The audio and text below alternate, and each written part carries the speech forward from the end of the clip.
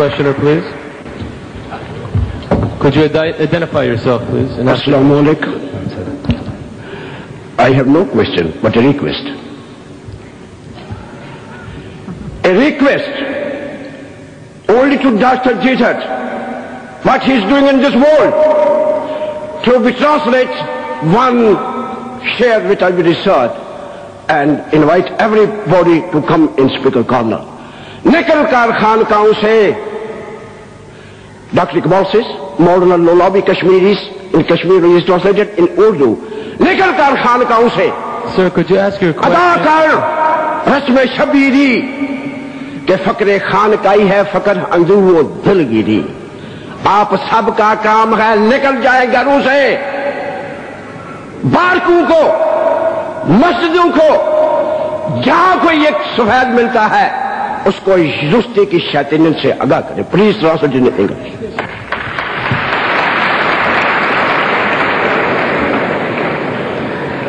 Uh, I'm, I'm not an Urdu Khan, but uh, so few words I understood was that instead of remaining in the monkeries and in the in your cloisters, you know, saying tasbih and sitting down doing nothing, so get out and do some work. That is what is. In, in essence, that's the message. No. Assalamu alaikum rahmatullahi wa barakatuh. Brothers and sisters, Sheikh Ahmed. Um, it's alright us saying, right, to stop um, Rushdie for what he's done to the brothers and sisters.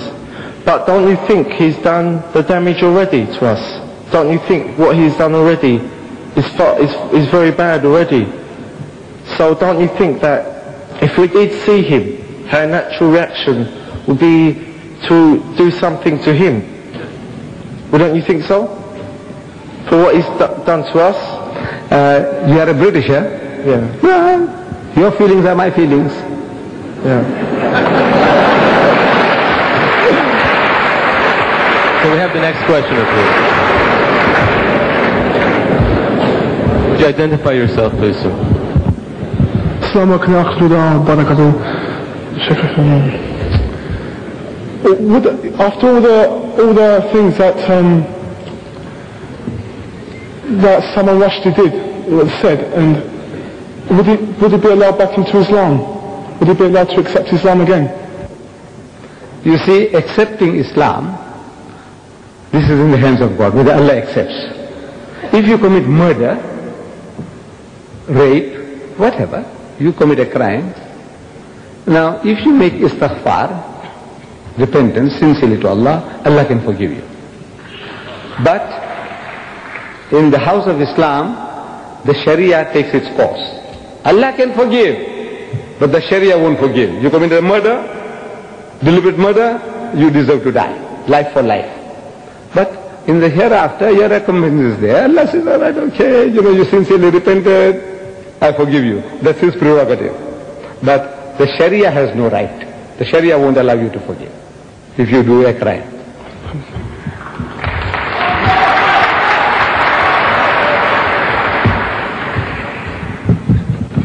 Assalamu alaikum wa rahmatullah. Um, my name is Sayyida Kirmani and I'm a British Muslim and this question is to you, Brother Deedat. You mentioned in your course of speech the Islamic punishment for adulterers and slanderers, but you haven't mentioned the um, punishment which says in the Quran for the blasphemy that Rushdie committed. And as a Muslim and as far as my knowledge goes of the Quran, your approach to Rushdie affair is in contradiction of Holy Quran. My second question is, Now that was a statement. my second question is, That was not a question, that was a statement you made. do you agree with this? What? Do you agree with my statement? What statement did you make? What did you say? In Quran, the punishment for blasphemy against the Prophet of Allah is quite different. It's either by death or by stoning or cutting arms and legs. And that's what it says in Quran. Right, I'll answer you, my sister.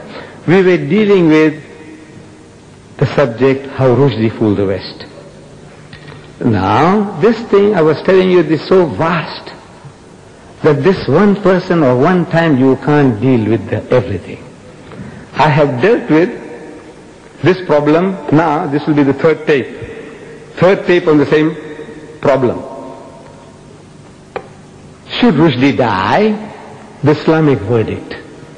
Should he? Should, that, that's the question. now you have to get Can the you tell us? Because No, we all no, here. no. This is another lecture. You want me to deliver another lecture? Not just say No, no, no, wait, wait, wait, wait, wait. We started here at half past two. It's half past four now. This will take another two hours. You want me to expound to you for two hours? Look, you, No. can't, you can't just make statements. You have to get this tape. I'm only asking you if you agree with the Quranic punishment I agree what the Quran says and i here we deal with it in total. Two hours. So you agree with Then- the Quranic punishment? I, how, as a Muslim, how can you disagree? That, that's all I, I want. think I think that I, Then, then further, again, should Rushdie die? Yes. The Judeo-Christian verdict. That's a different subject. Now, at that subject, you said, look, what about Islam? I said, look, when I was talking about Islam, he said, what about... I said, look, wait a minute. You see, there are people who can make a hundred different statements in one 15 minutes. Unfortunately, I can't do that. You see, if I touch something, I have to ex- explain to you the whole situation. So, the Islamic verdict, the Judeo-Christian verdict, and now you will see in the future how he fooled the West. And now each and every one is separate, independent, but is doing a certain job. I think that Also- Sheikh, I think, excuse me, sister, I think that Sheikh Dad has been very patient in answering a question that is not related to the topic. And brothers and sisters, ladies and gentlemen, I would like to ask you to please remain and contain your, your questions to the topic. It is, it is unfair to ask a question on another topic which will require perhaps a couple hours of explanation.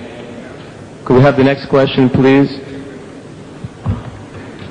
Assalamu alaikum. My name is Tabassum Ahmed um, and I'm a Muslim Pakistani. Um, I want to ask you, is the fatwa passed by Ayatollah Khomeini, is that justified from an Islamic point of view? I don't think you understand Without English, my child. Look, we have been talking about how Rushdie fooled the West. Where does Khomeini fit in?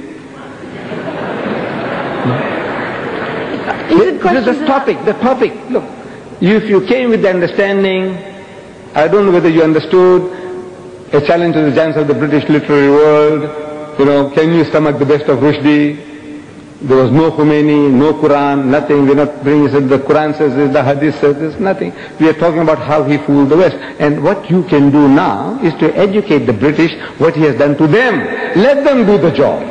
Then they will do it for you. Could we have the next questioner, please? Assalamu alaikum wa Would you identify yourself, please? My name is Haj and I would like to ask a question to uh, Sheikh Ahmed Deedat. He says that uh, Rushdie has blasphemed all the humankind, all human beings. And even if he didn't spare the queen, we know as he says in his book, he has used some words for our Prophet sallallahu alaihi wasallam. And we know that this Prophet is even greater than the queen or whoever than is that is greater than the queen, the Prophet is greater than you. I would like to know, Mr. Uh, Mr. Ahmed Deedat, as a Muslim, as a Muslim, because something go, went on and some books have been banned. I would like to know as a Muslim, our point of view, what should we carry on actually to do? Because many question, the, the real question that is to be asked is whether Salman Rushdie is a Muslim or he's not a Muslim.